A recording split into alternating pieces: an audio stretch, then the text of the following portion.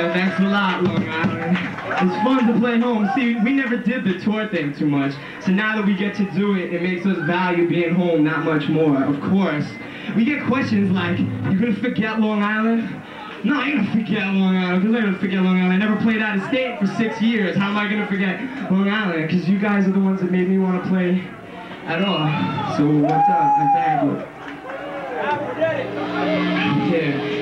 remember the old Glass show, right? Remember our old bass player Ariel? You remember Ariel, right? Uh, everybody loves you, Ariel. Ariel's right here. Give him one more cheer so it's good for self-esteem.